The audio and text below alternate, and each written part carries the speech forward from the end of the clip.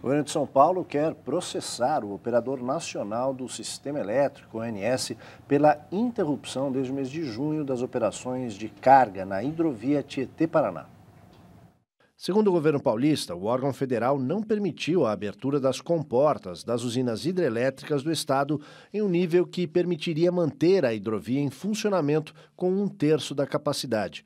Com isso, o transporte de cargas precisou ser interrompido no trecho paulista.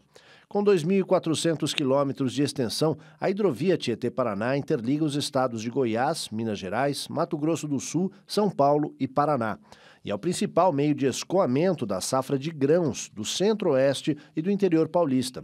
Com a interrupção, produtores de soja estão com dificuldades para escoar a produção, que precisa ser feita agora somente por rodovia. Cerca de mil trabalhadores das empresas de navegação também perderam emprego.